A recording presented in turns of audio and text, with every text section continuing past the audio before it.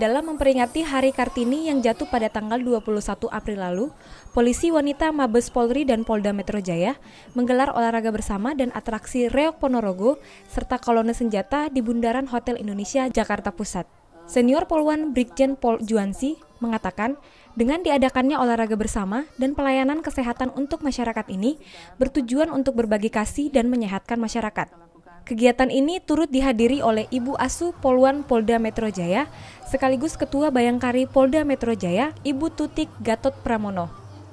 Jadi mohon izin kegiatan-kegiatan ini adalah merupakan kegiatan dalam rangka memperingati Hari Kartini tahun 2019. Polwan e, Mabes Polri dan juga Polwan Polda Metro Jaya ingin melaksanakan satu kegiatan berolahraga bersama, kita sehat bersama dan juga ingin berbagi kasih melalui pelayanan kesehatan untuk masyarakat. Karena keamanan ini adalah tanggung jawab kita bersama, polisi dan masyarakat bersama-sama menjaga keamanan.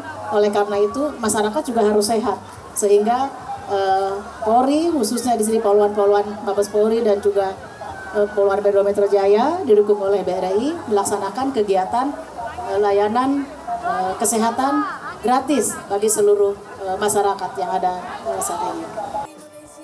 Dari Jakarta, tim liputan Tribrata TV, salam Tribrata.